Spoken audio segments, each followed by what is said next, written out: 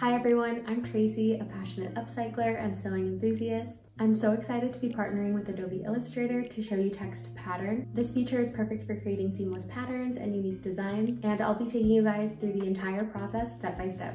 If you love designing your own patterns, you're going to be thrilled with how text to pattern can accelerate your workflow. I've been soaking up the incredible inspiration here in Spain, from the stunning architecture to the vibrant colors. Today, I want to bring some of that inspiration to life in my designs. First, let's open Adobe Illustrator and start a new project.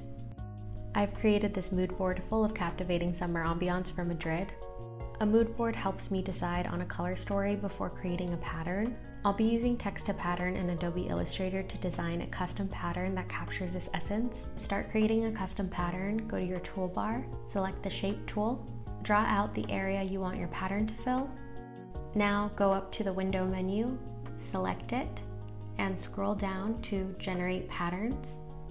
A window will pop up giving us a few settings we can adjust. Click on color and tone. Here you can adjust presets, the number of colors and specify the colors. I'm going to specify my colors from my mood board. Once done, unclick the setting.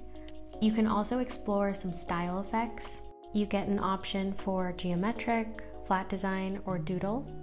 I'm going to select the geometric effect. When you finish adjusting the settings of your choice, click on the prompt box and describe the custom pattern you want to generate.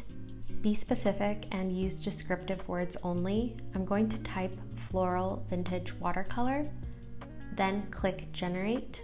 After some loading, it will give you three variations. I wanted to see what this prompt would look like in a different style effect.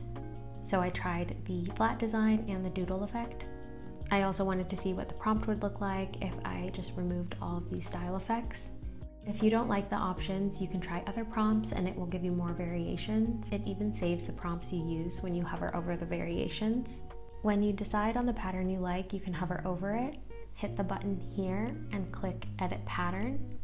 I chose this pattern specifically because I loved how the leaves were shaped as well as the flowers, and there wasn't too much negative space within this pattern. The pattern vectors are completely editable and that's the really exciting part. You see how this flower, it wasn't like completely colored in to like match the rest of the petals.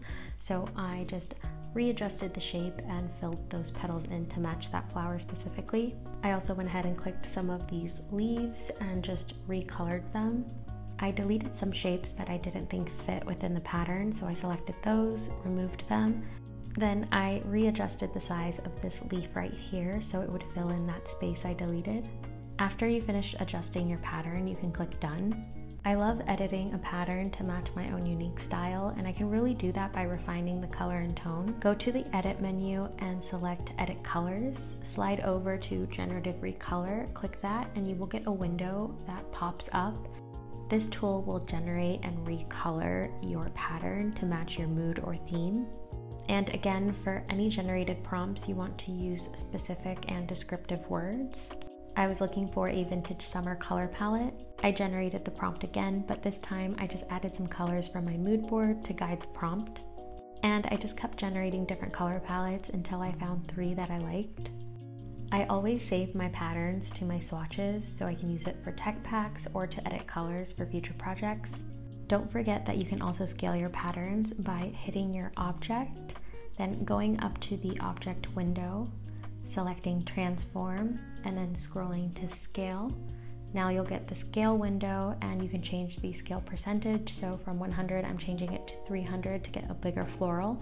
And make sure that only the transform pattern box is clicked, not the object and now you can scale it and you have a larger floral and you can also do this to make a smaller ditzy floral so just change the percentage to like 50 and now your pattern is a lot smaller and there you have it a seamless editable and scalable custom pattern created using text to pattern in just a few steps I sent the design to be printed on fabric and I'm so happy with the results. It turned out so beautiful on this bamboo jersey.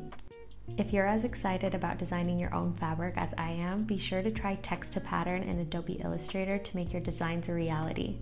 Thank you guys so much for watching.